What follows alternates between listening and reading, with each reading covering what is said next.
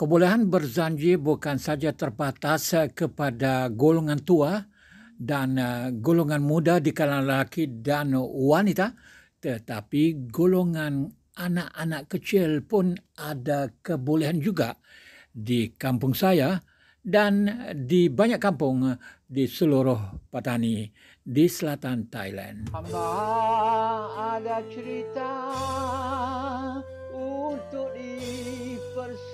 dipersembahkan.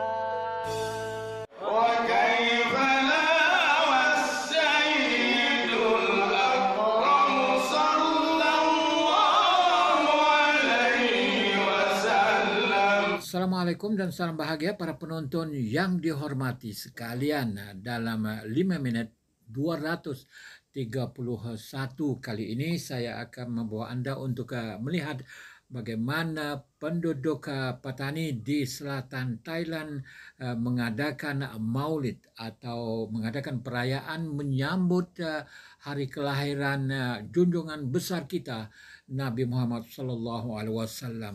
Hampir setiap rumah penduduk Patani mengadakan maulid ini terutama di kampung-kampung bagaimanapun uh, di bandar dan uh, di kota agak uh, berbeza sedikit ya kerana cara hidup yang berlainan khususnya di kalangan orang muda.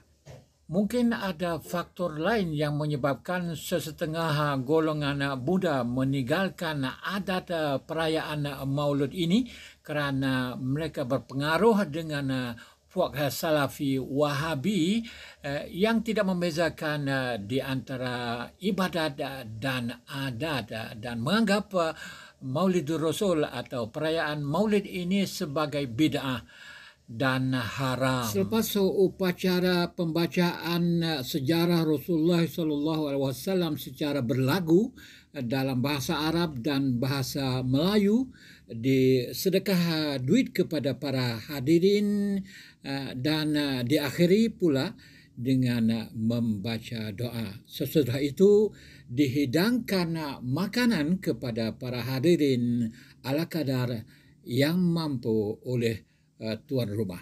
Selain uh, daripada perayaan menyambut uh, kelahiran uh, junjungan besar kita Nabi Muhammad sallallahu alaihi wasallam diadakan oleh penduduk kampung dari rumah ke rumah ia diadakan juga oleh masjid sekolah dan majlis agama Islam. Bagaimanapun perayaan Maulidur Rasul yang dibuat oleh masjid sekolah dan majlis Majlis Agama Islam ini uh, adalah besar uh, dan ia menjadi macam uh, pesta.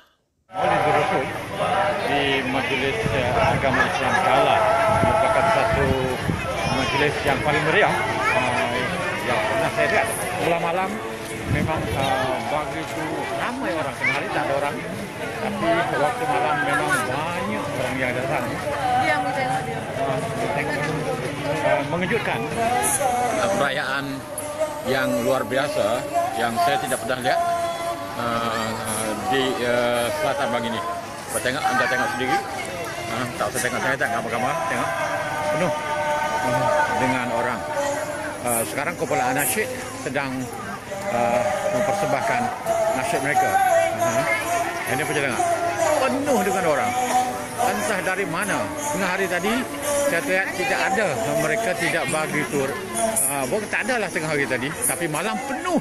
Uh, ini tempat jualan buku. Uh. Buku-buku agama, buku-buku moden uh, pun ada. Uh, dalam bahasa uh, Thai. Uh, dan ini buku-buku dalam bahasa Melayu, tulisan Jawi.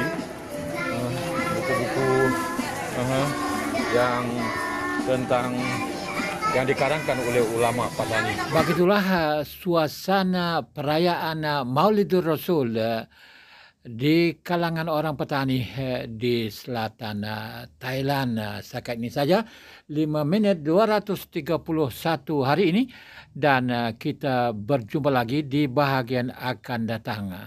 Sekian wassalam.